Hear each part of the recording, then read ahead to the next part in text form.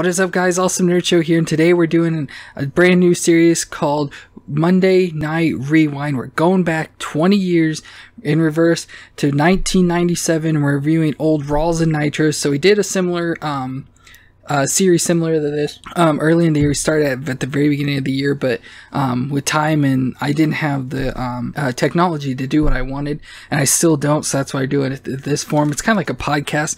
So you're gonna hear my voice on top of uh, visual, like pictures and stuff of wrestlers and various sorts of things.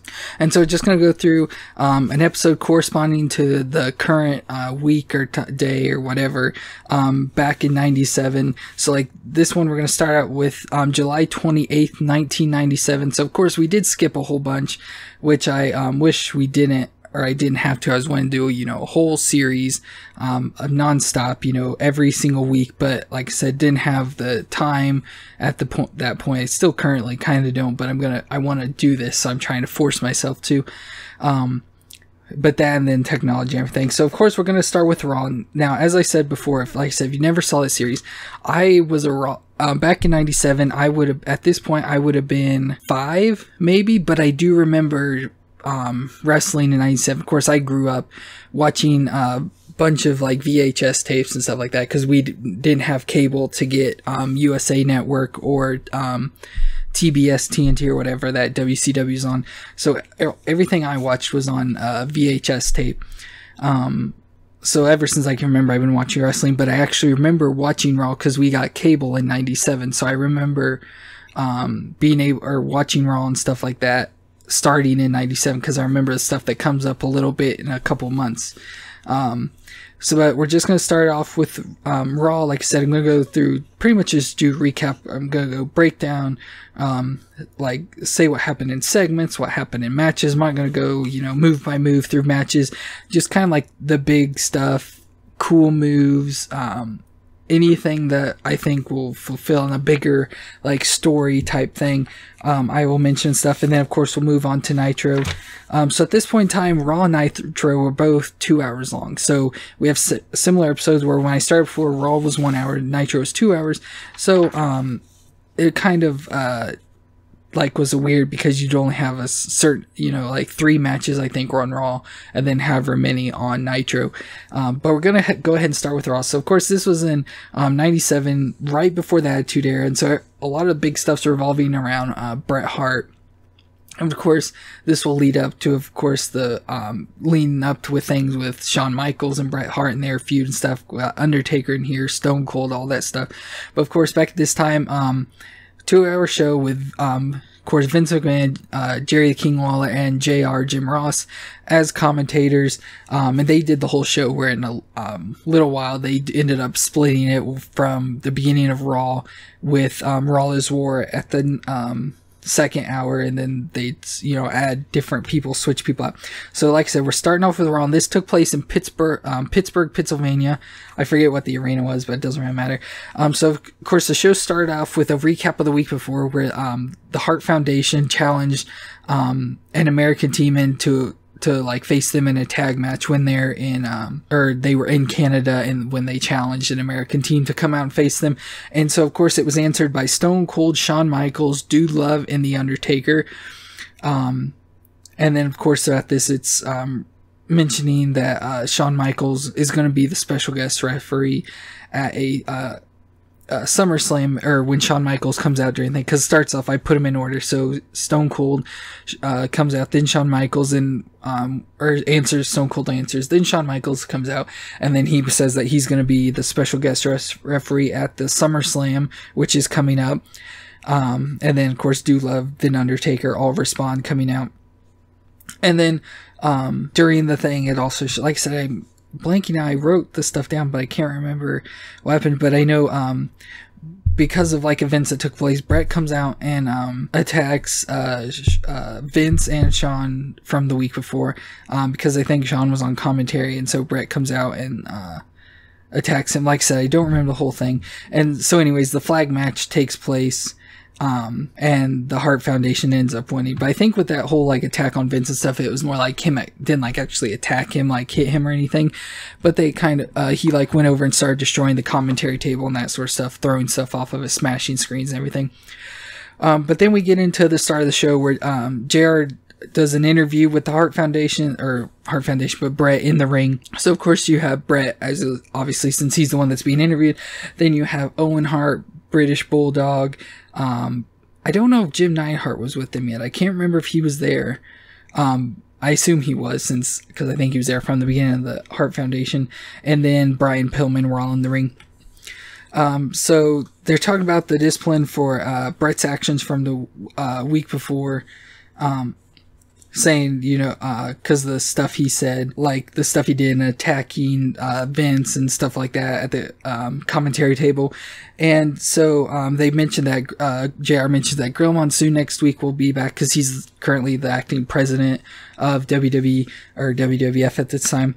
Um, and so that he's going to name a new commissioner um, since he can't be there all the time, he's going to name a commissioner to be like the current um, general managers that you see on Raw and SmackDown today, and that he's going to lay down a law on um, Bret's actions and that sort of thing. Um, and so then Bret starts talking and he's um, talking about how, you know, he's been screwed many times and especially in America, they know how to screw you. And that he will keep his word, um, even though he never actually meant it, but he will keep his word about never wrestling in America again if he loses at SummerSlam, which will be in a ma- title match against The Undertaker. And that he ends up you know, keeps getting screwed.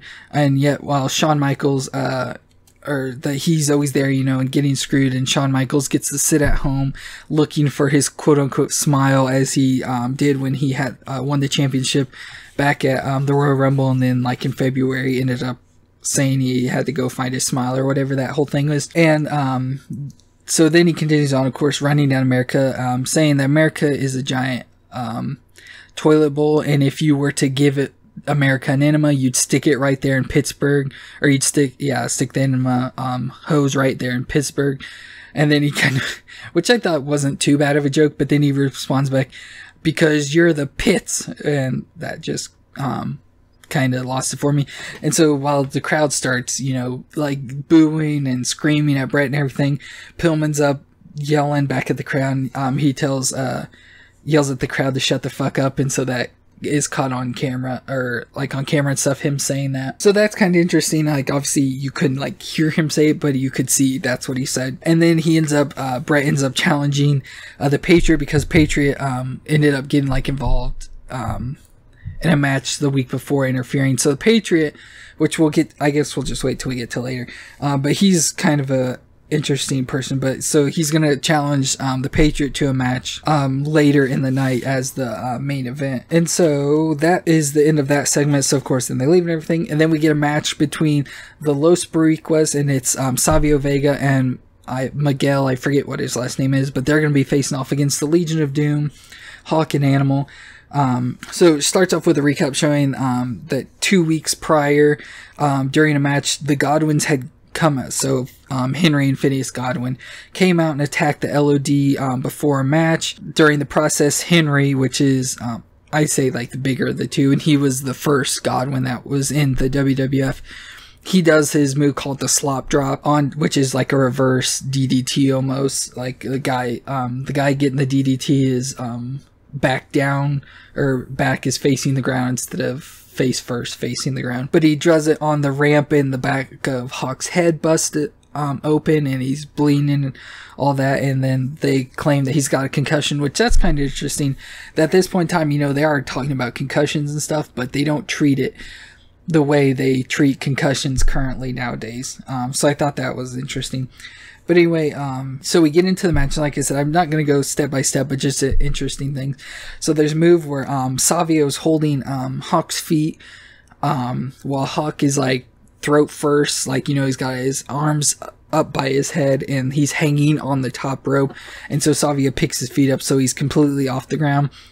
And then Miguel, um, of course, bounces off the ropes on the other side and runs and jumps up over Savio's back um, up over Savio and lands on um, Hawk's back, like, you know, smashing him down into the ropes. I thought that was kind of an interesting move.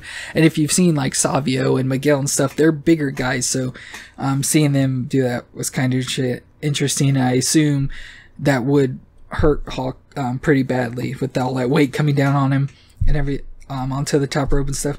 Um, Miguel does do a standing moonsault, but it's not done very well. But it again interesting and seeing such a large guy doing a standing moonsault. Um, so he does that. Then the LOD gets set up for the Doomsday device um, with Miguel on uh, or I can't. I think Hawk usually lifts him up, and Animal does the dive off the top rope. But it, um, they were doing it on Miguel, but the other Boricuas um, come in and interfere, so the match ends obviously um, within um, DQ. And the Godwins end up coming out, and um, Henry grabs and slop drops Hawk again on the outside of the ring. Of course, they're on the mats this time.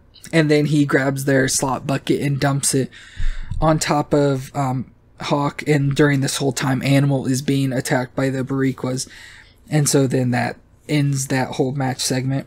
Then next up, we have tri- a Triple H interview. Uh, he's backstage. It's him in Chyna, and Vince is talking to him in the back. So um, they have a recatch of all his matches that um, were leading up with man or before with Mankind.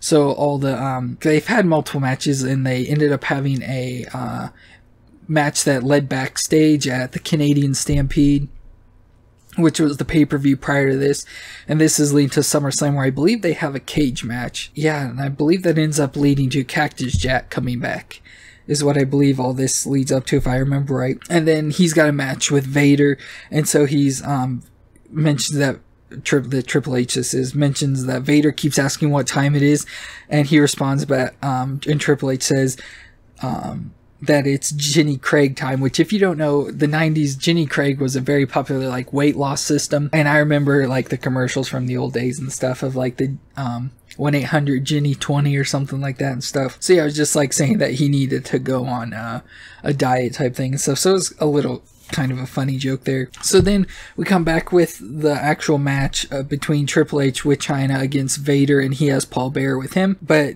as Vader and Paul Bearer are um, walking down to the ring, um, you see a camera guy come up behind Triple H, and he ends up attacking him, and it's Mankind dressed as a cameraman. Which in the footage they show originally, you do see, you know, you see the cameraman, and you can see he's wearing Mankind's face mask come up, but then they show like a replay later on, like it's from a different angle. It's from like the hard camera angle.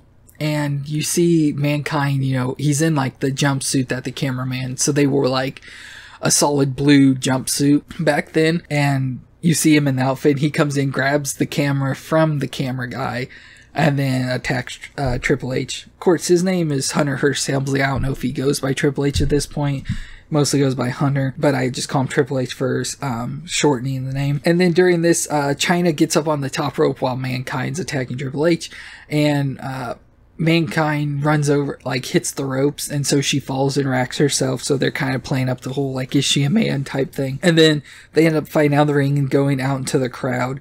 Um, and they fight through the crowd a lot, and then Mankind I can't remember if they come back or if they just fight through disappearing, but then that's when they say that their SummerSlam match will be a cage match. And then the next segment we have up is the Truth Commission interview uh, and comments with the Commandant, which is their leader. And uh, it's just them standing in the back room, and he just makes comments, you know, that they're here to take over the World Wrestling Federation and that sort of things.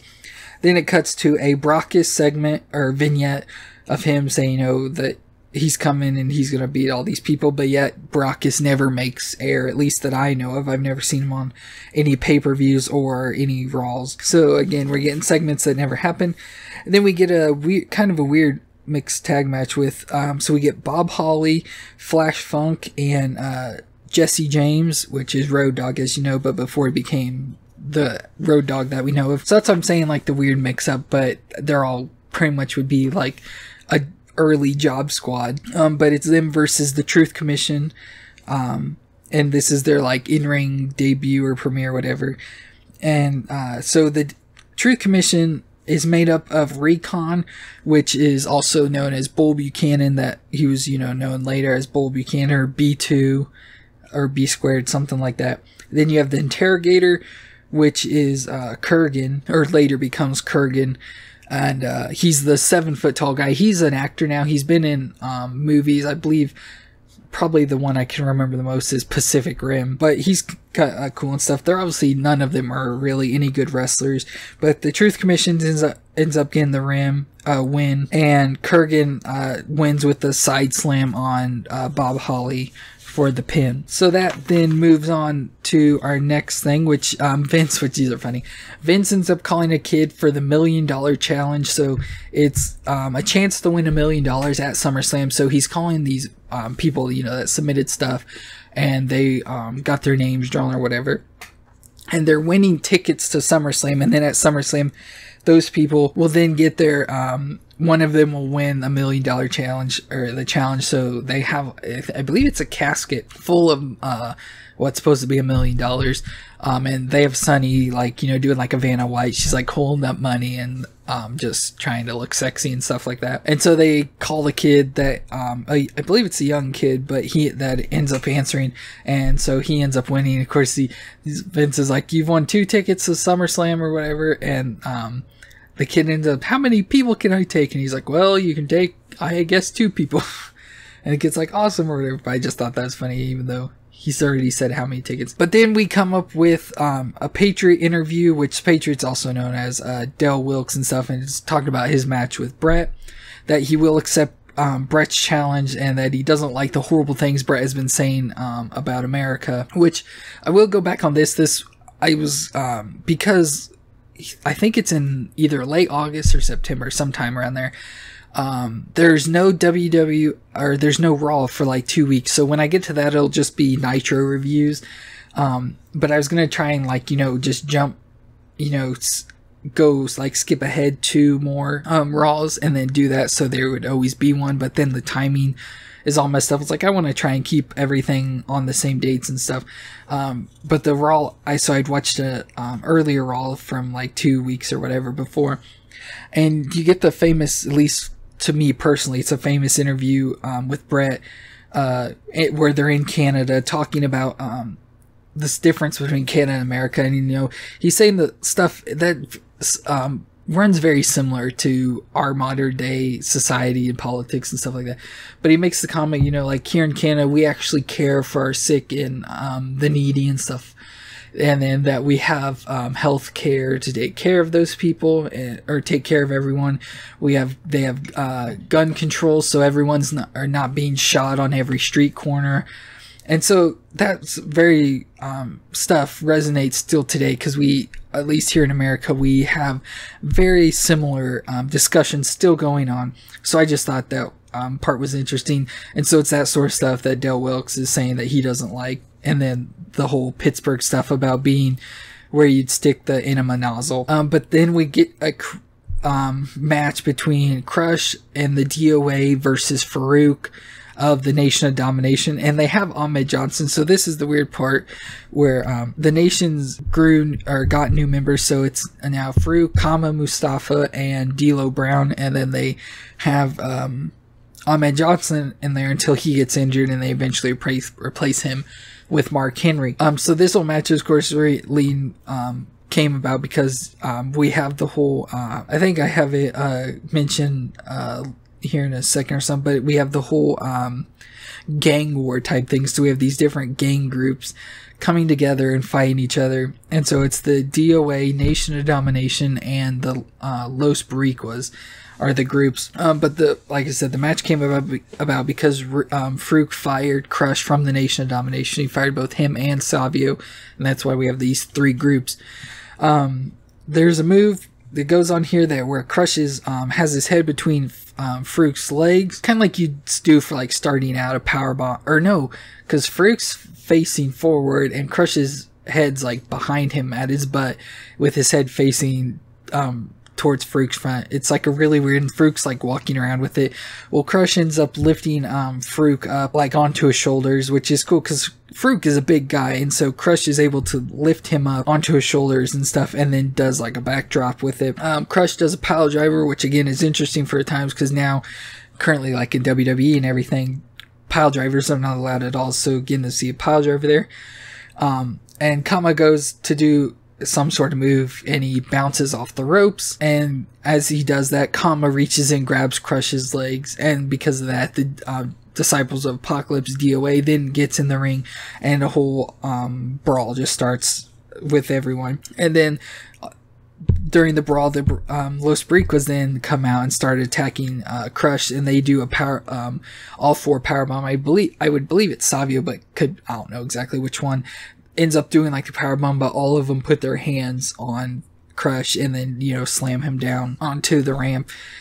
And so that's the end of that whole schmoz fest, as you call it. So then we get the start of hour two. So of course they do the whole big giant fireworks display, and then we get the Godwins um, of course, as I said, uh, Henry and Phineas versus Dude Love and Stone Cold because they're the currently tag team or current tag team champs, and it was uh, made because it was Stone Cold and Shawn Michaels as the um, tag team champs, but Shawn being whatever um, ends up not doing uh, like quitting the whole thing because him and Stone Cold don't like each other, and so Mankind or Dude Love now, um, which is still Mankind Mick Foley, um, ends up being saying, you know, I'll be your partner. He's always coming out saying, pick me, Steve, and stuff like that. Um, so then we get, um, or so during that match, um, Owen Hart and Bulldog are on commentary because, you know, they're the ones that lost the tag team titles, or they won them back at least. Um, so they're at commentary and everything. Um, so, uh, again, some highlights of the match. Um, Dude Love performs a dirt, what would be a uh, Dirty Deeds or similar to Dean Ambrose's Dirty Deeds, um, which is a um, double arm DDT. So he does that on Phineas. Um, at the um, commentary, uh, Bulldog, cha- uh, British Bulldog, ends up challenging uh, Ken Shamrock to an arm wrestling match, saying you know that he's the strongest in the WWF and that he'll um, take on uh, Ken Shamrock because him and Shamrock have been um, fighting or, or, whatever feuding. Uh, Austin does a stunner on Phineas, uh, but then Henry knocks him out of the ring, and so while he's outside of the ring, Owen runs up and hits him in the back of the head with um, his Intercontinental title, as in Owen's title, because he's the current Intercontinental Intercontinental Championship. So that leads to a disqualification. And then um, Bulldog and Owen then are fighting um, ringside and stuff with Dude and Austin, leading um, the Henry or the Henry, the Godwins to leave. And then because of the Godwins, you know, being out there, though, still the LOD come out, and that also um, forces Bulldog and Owen to run off. So it's um, LOD um, Dude Love and Austin in the ring, and then you can see the Godwins and Bulldog and Owen up on the ramp and stuff. So that's the end of that match. Uh, next up, we get a light heavyweight because, of course, they're do- um, starting the whole light heavyweight championship uh, or division at this time, and so we get Ace Darling versus Devon Storm. Um, and I tried to look these guys up. I couldn't find or see really who Ace Darling was. He could be somebody, and I just didn't recognize it. But um, Devon Storm became later on Crowbar, and then some like Judas and stuff like that. Um, but he was Crowbar in TNA or WCW, and then like Judas and stuff in TNA. But he looks a lot like Chris Jericho. Like if you saw him in match, you would think it was Chris Jericho. Um, but Devon ends up winning with a power bomb, or um, he does so he wins, but he goes for a power bomb, and as he's going to slam Ace down, Ace like does a roll type thing, so he rolls out like rolls, and so that like flips Devon over, but then Devon's able to re-roll that into a pin, so it's a roll-up pin. And during this, um, right before the match begins, Ken Shamrock um, walks out with a table to um, do the arm wrestling match with that Bulldog said he would do tonight. And then after that, that leads to Vince calling another person for the million dollar uh, challenge.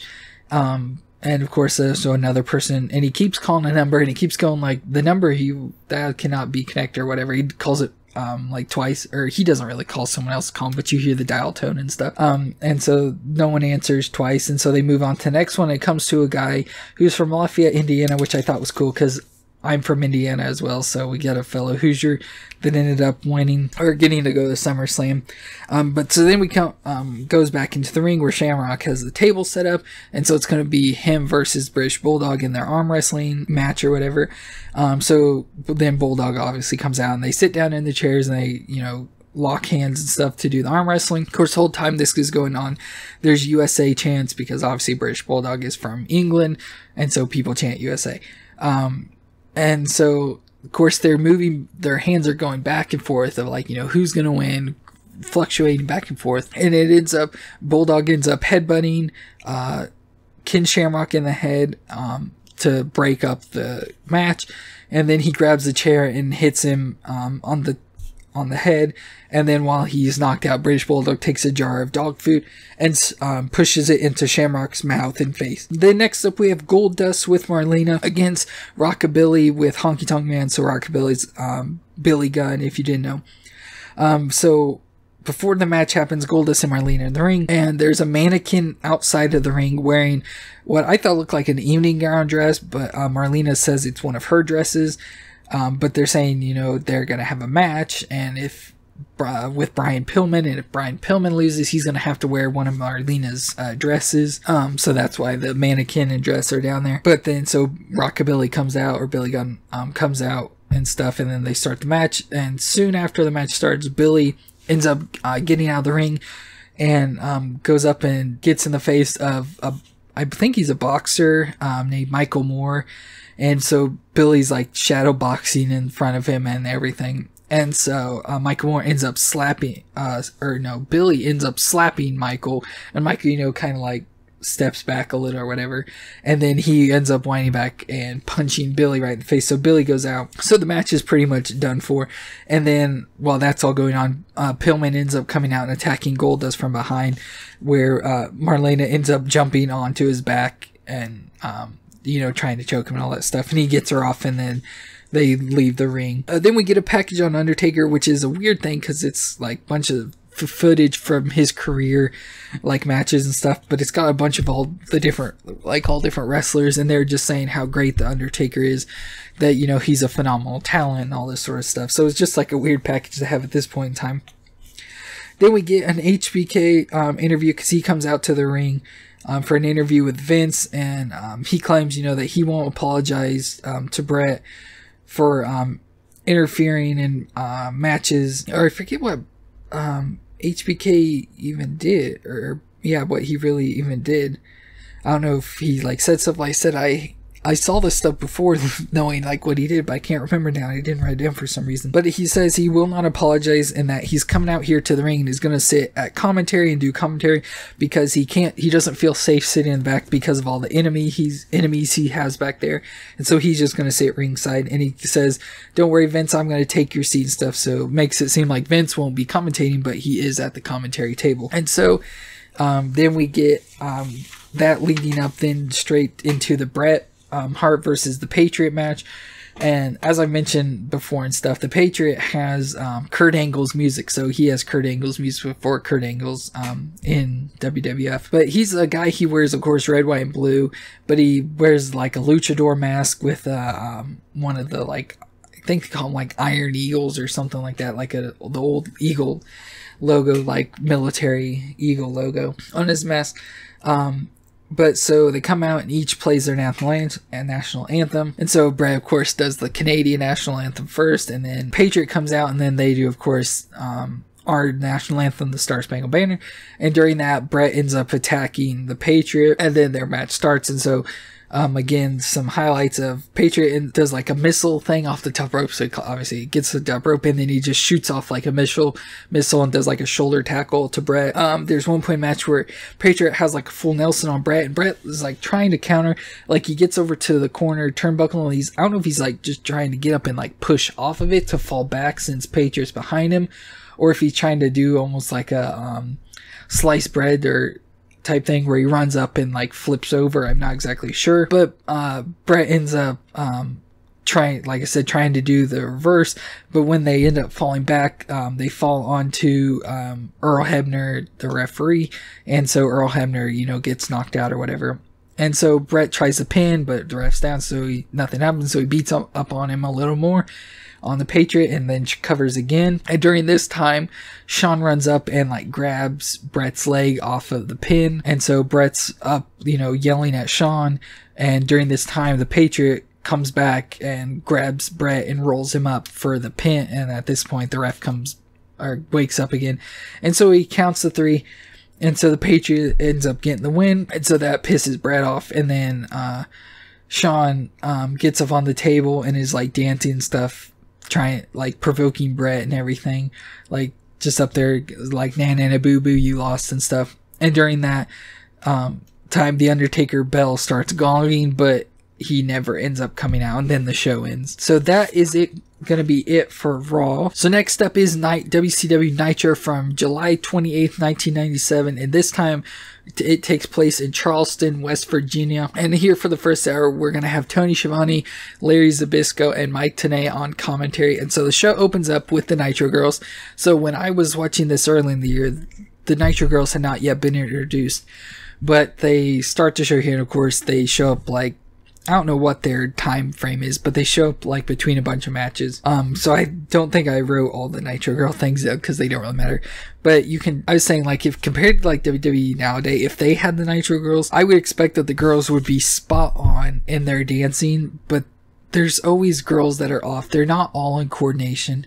And I just feel like, you know, if it was WCW nowadays, I could, or WWE nowadays, I could hear like Vince just in the back, like just probably laughing one because they're so bad, but just like yelling and screaming, like, why are these people so bad? But I just think, you know, that's WCW for you getting, thinking this is a good idea, but the girls really aren't that good. Um, but our first match is the NWO of Buff Bagwell and Scott Norton, and they come out with Vincent versus the Four Horsemen of um, Ric Flair and Mr. Perfect. So the whole time, uh, commentary is like, you know, they're questioning is Mr. Perfect or he's going by Curt Hennig because he can't go by Mr. Perfect. Um, whether he's a part of the Horsemen or not, because nothing's ever been uh, mentioned whether he, you know he is for sure or not. So Scott Norton does because you know Scott Norton's like a I think he's a strong man and you know power lifter probably and stuff like that. But him and Perfect start out and uh, Mr. Perfect or he ends up uh, uh, chopping Mr. Perfect, and when he does, Perfect ends up uh, flipping up and over the top rope. So you know it's showing you know his selling of uh, Scott Norton's power and stuff. And then their, their um, commentaries saying that, you know, this match is a match of um, power versus brains with power of Buff and Scott Norton versus you know, the excellent um, wrestling technique and everything of Flair and Mr. Perfect. So, of course, obviously with Flair match, you had a bunch of Flair chops. I was trying to count, but then he just started chopping everyone, so I lost count of the whole thing. Um, and then I noticed that their tag, since this is a tag match, you know, you have a person from each team and standing in the corner waiting. And I noticed that they're the opposite of um, WWF's, like the corners are opposite. So if you picture what W um, WWE is today, they're just in the other corners, not so in the different corners. So it's just kind of weird. But it um ends up with Flair ends up getting a figure four uh, on Buff Bagwell, and so while he's got Bagwell in the figure four, Scott Norton and um, Curt Hennig end up coming in. They are fighting each other, and during this time, Bagwell ends up escaping the figure four. And uh, so then they get everything back underway, and so Flair's on the outside, you know, waiting to be tagged and everything and um, X Pac or Six Six Pack Six Pac whatever he went by, but um, one two three kid all that he ends up comes running out and he grabs apron or he grabs Flair up on the apron to like pull him off, but he grabs him by his pants and so when he pulls it down, he just completely shows uh, Flair's butt. And so everyone got mooned, but uh, Curt Hennig ends up getting the win on. Uh, I think it was uh, Buff, I believe, um, with his fisherman suplex or the perfect plex as it used to be called. So that's the first match. So next up we get Lex Luger and an in-ring interview with uh, Gino, Mean Gene Okerlund. Um, so he comes out obviously and they um, discuss their match at Sturgis at Hog Wild that's coming up that he's got against Hulk Hogan and um, he, he talks about how he's been in the gym working on his peaks because um, Hogan had made comments that um, Luger wasn't looking um, his best and not in shape, so he was showing off his body that he has been working, and that Hogan's not there, you know, tonight or whatever, and that he's off filming some movie. I'm not exactly sure which movie. I, I know um, before it was mentioned that he was doing Three Ninjas, but I don't know if um, that was the movie he's doing at this point in time or not. Um, but then uh, he says that the lawyers have been talking, you know, saying that Hogan with the um, being the uh, heavyweight champion that you have to defend your title every or within every 30 days, and that Hogan wouldn't have done that by um, Hog Wild. So next week they're gonna have a title match in Detroit. Then next up we have Prince Iaukea versus the Ultimate Dragon or the Ultimo Dragon, and the Ultimate Dragon is um, in WCW, he goes by Ultimate, but he's also known as Ultimo. Um, I think in like Japan, I believe he's from Japan, but he is the TV champion. Um, so of course, another some more highlights is Ultimate uh, Ultimate Dragon ends up doing the um, headstand on the turnbuckle, similar to what uh, Jack Gallagher currently does today. Um, but he ended up uh, doing a move off of it instead of just you know putting his legs down or whatever to stop people from running over that Jack Gallagher does. But he ends up doing um, I don't know if I think he ended up doing like a double foot kick uh, to Prince Iaukea. Um, Iaukea does a superplex off the second rope, so not all the way off the top, but off the second rope.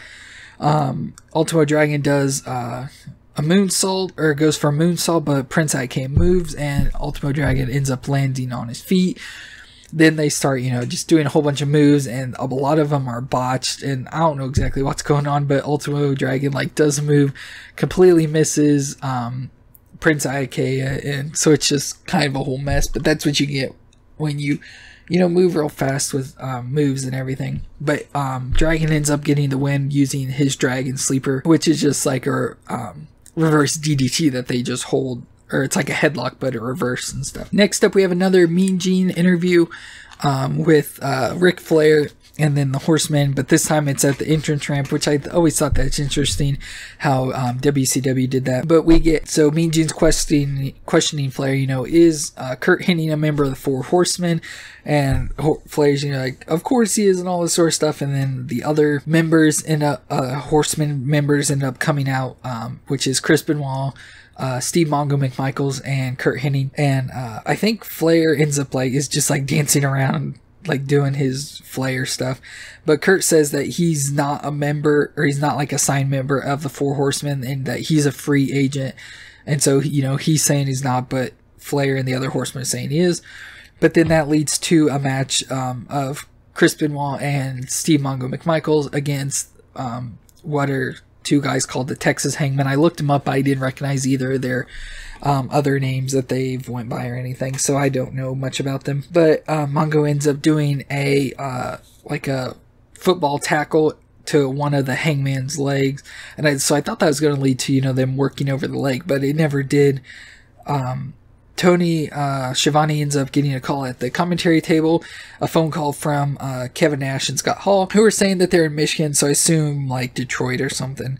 Um, but they say they're in Michigan looking, you know, for um, fans of Scott uh, the Steiners because obviously they're from uh, University of Michigan and or they went to University of Michigan and so they were looking for fans there and that would be there in Michigan, but they can't find any. And then um, Hall and ends up um, like insulting Zbyszko and saying, you know, that he's talking up for an old man and um, that they challenge, you know, anytime you want to fight, we'll fight. And um, then they also add in there, you know, that Luger won't beat Hulk Hogan at, um, in their title match next week. So back to the match, uh, Mongo ends up tombstoning, uh, tombstoning one of the Texas Hangmen, but he's not the legal man, so there's a whole little um, botch going on there with that because um, both all four guys are in the ring, and like I said, uh, it's uh, Chris Benoit and one of the other the other Hangman are the legal men, but in the background, Mongo's doing a tombstone to the other one. Benoit ends up putting the, his Hangman that he was. Or no, I think he was actually doing to the one that Mongo gave the tombstone to, so that may have actually been the correct hangman. Um, but he puts him in the crossface, but the refs, um, and he starts tapping, but the ref didn't count it because the hangman was under the, like, from his, like, knees down was under the rope. So, you know, it counts as a break technically. And so Chris ends up pulling, uh, him out of the way, reapplying the crossface and getting the win for that. Then next up we get an Alex Wright the Wunderkind versus uh, Chris Jericho, which is the cruiserweight uh, champion. So this is a good uh, technical chain wrestling match.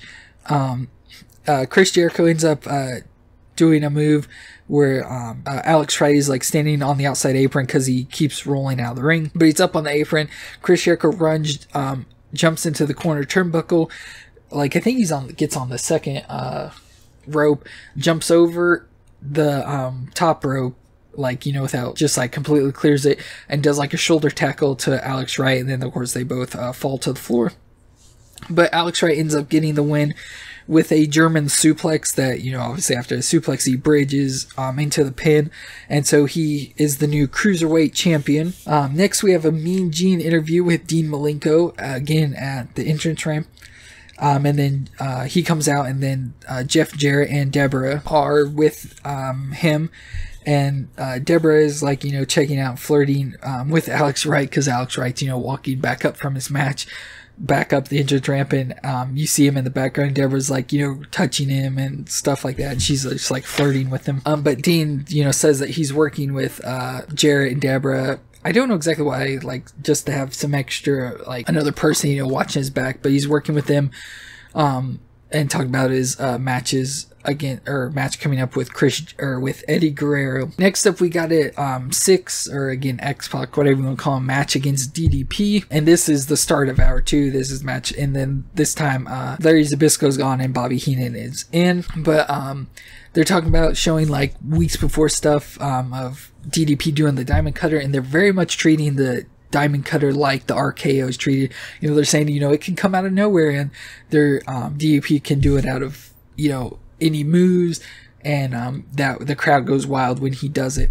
And they crowd cheers and yells for it like the DDT. Um, but Six Pac or X Pac ends up doing his uh, Bronco Buster, but they called it a Bronco Ride, which I didn't know he did it that early um, in his career. Um, DDP motions for the diamond cutter, uh, but then Vincent or Virgil, as you know, comes running out, which you saw him early in the first match, um, comes out, interferes. Uh, Sixos put some sort of move. I don't know what he's doing exactly, but he grabs the hold of DDP's head and starts going towards the turnbuckle. Um, DDP ends up reversing it into a diamond cutter, and so of course, crowd's going wild and um, you know, he's getting ready to go for a pin, but Curt Hennig ends up running out and attacking DDP because they, um, I believe, had a match the week before or sometime right before then. So he ends up attacking him, knocking DDP out, and then grabs onto Six and pulls Six over DDP.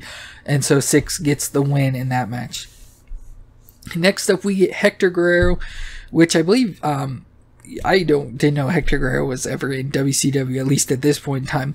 Um, Eh, but you know him that he played the Gobbledy Gooker, of course, the famous thing from uh, Survivor Series uh, 91, 90, 91, I can't remember, whichever one had the Undertaker um, appearance, first Undertaker appearance.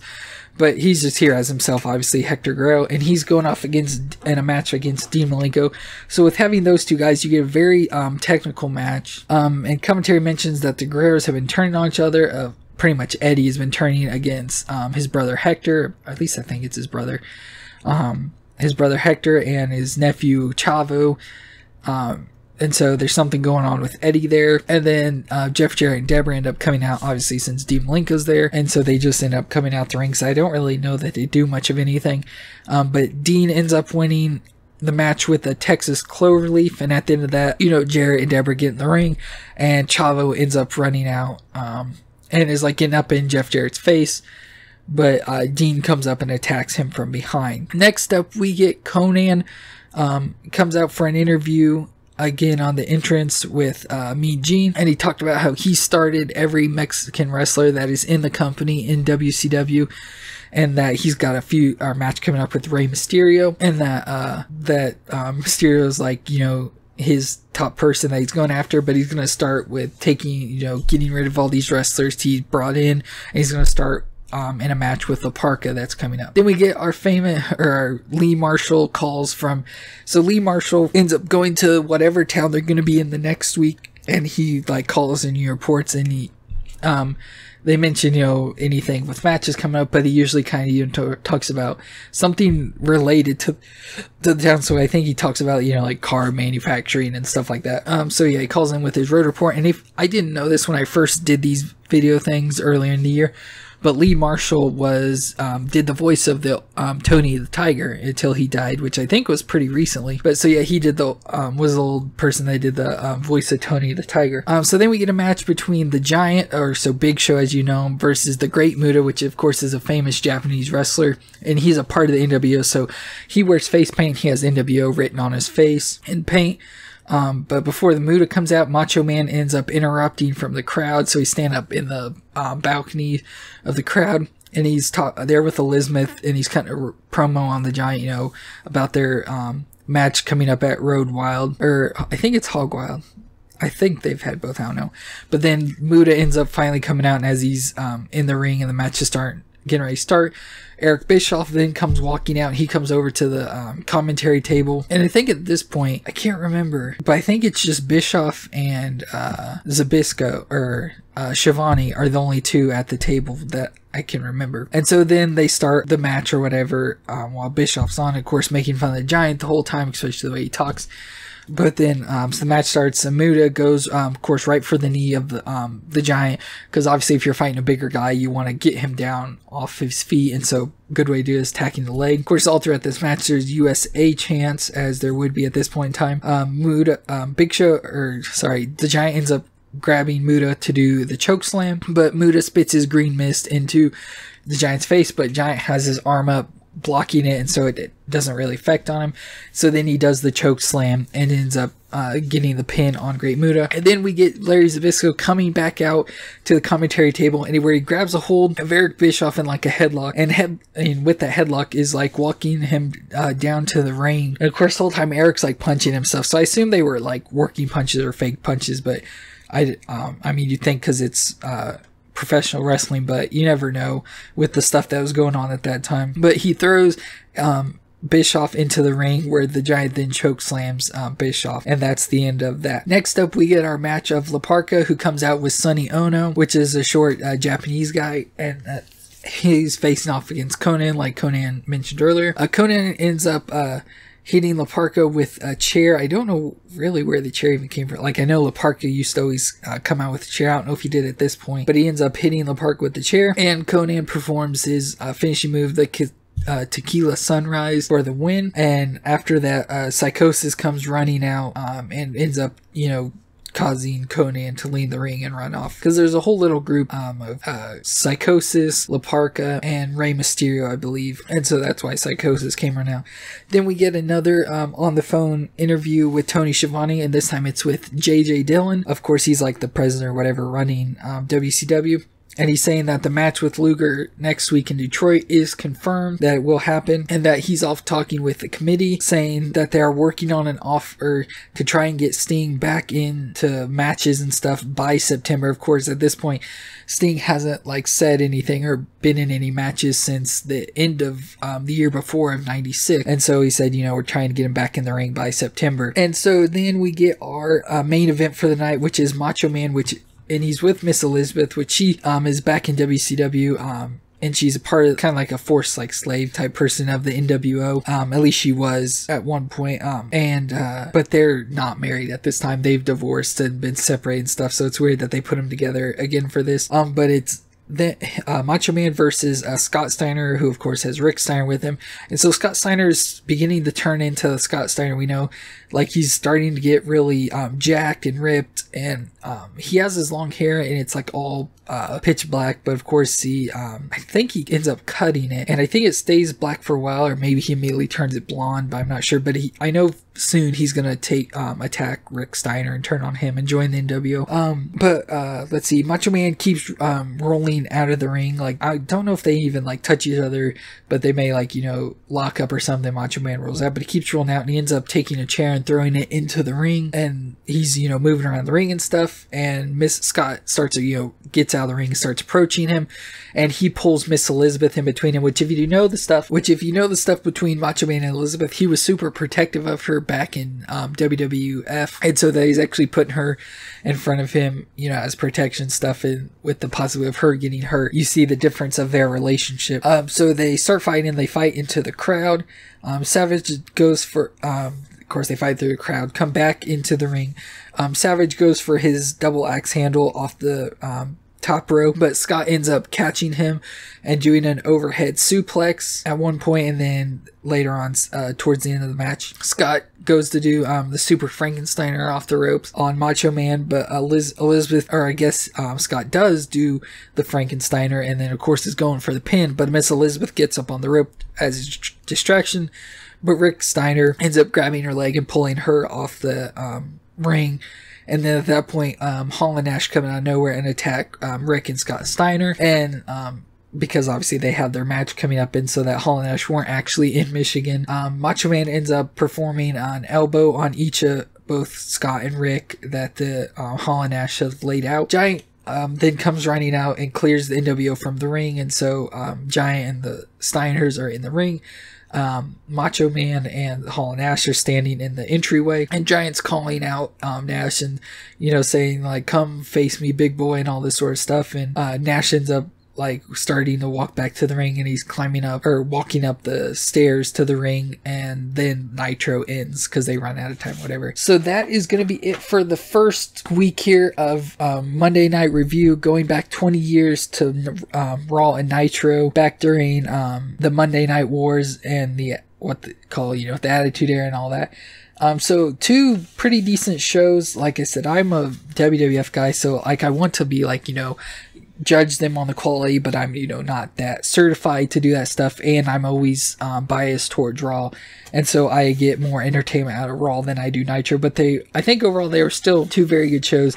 And especially with um, Raw and WWF at this time, the stuff that's going on is for me at least very interesting and the stuff you know with Bret Hart and then his stuff with Shawn Michaels his stuff with Stone Cold and all the whole dynamics of everything going on is me very interesting at this point in time. But that's going to be it for this episode so if you enjoyed please leave a thumbs up leave any comments you have down below and hit the red subscribe button to um, catch up on all the episodes every week and we'll see you next time